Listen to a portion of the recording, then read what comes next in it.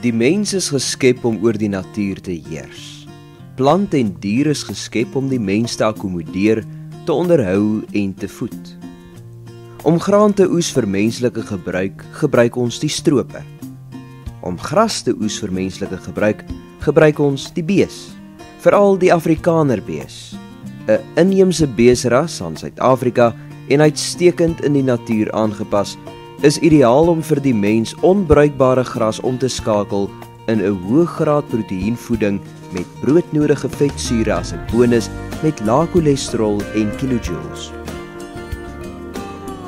As gevolg van die bevolkingsontploffing in die wêreld, moes daar noodgedwonge proteïene op massa-basis geproduseer word. Dus moes groot getalle beeste met graan en kragvoer gevoer word om hulle op vroeë ouderdom markgereed te kry as proteïenbron vir menslike gebruik. Dit was besonder suksesvol om die massa mense van proteïene te voorsien. Maar oor die jare het dit duidelik geword dat hierdie massa geproduseerde produk, behalwe die proteïeninhoud, min ander voordele het en baie nadelige invloede op die mens en sy gesondheid het. Die oplossing: terug na veldvleis. Dit wil sê waar diere gras en blare natuurlik in die veld geproduseer as voedingsbron gebruik vir vleisproduksie. Veldvleis is 'n ideale proteïenbron wat smaaklik en sappig is.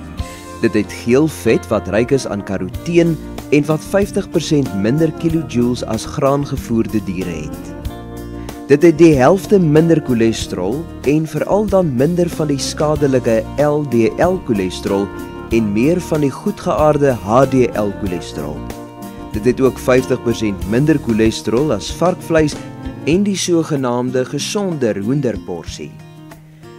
Diervette is noodsaaklik vir die mens en dit moet deel vorm van die dieet.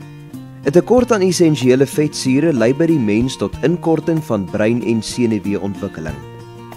Omega-3 vetsure is nodig by die ontwikkelende kind. Tekorte aan omega-3 vetsure oor die langtermyn kan lei tot aandagafleibaarheidssindroom of hiperaktiwiteit, oogprobleme, depressie en angs. Visolies is nie nou meer albron van omega-3 vetsure nie. Veldvleis is ryk aan omega-3 vetsure en die konstante gebruik van veldvleis lei tot die gesonde ontwikkeling van kinders en volwassenes sonder emosionele afwykings. Pasiënte met hoë cholesterol wat op anti-cholesterol medikasie is, kan na 3 tot 5 jaar emosionele afwykings soos depressie ontwikkel. Veldvleis met omega-3 vetsure voorkom hierdie toestand. Waar diere in onnatuurlike toestande gevoer word, word antibiotika in die voermengsel gemeng om siektes te voorkom. Groeistimulante en hormone word gegee om die groeiproses te versnel. Veldvleis toets negatief vir antibiotikas wat oor die langtermyn skadelik is vir mense. Veldvleis bevat ook geen hormone en groeistimulante nie. Dit is bewys dat dit negatief inwerk op menslike gesondheid.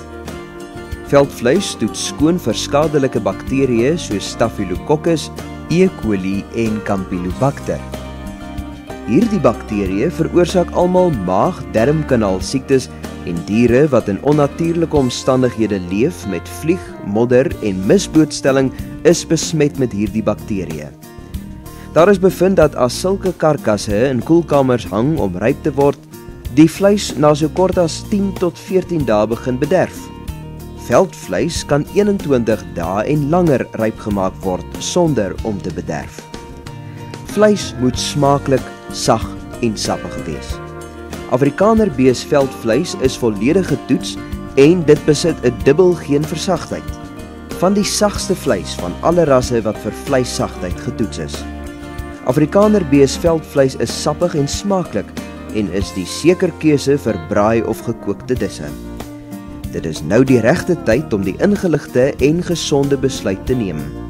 Vra by die toonbank vir veldvleis en veral vir Afrikaner beesveldvleis en verseker so jou eie, jou gesin en jou vriende se plesier en gesondheid en eet lekker aan die natuur se eie produk.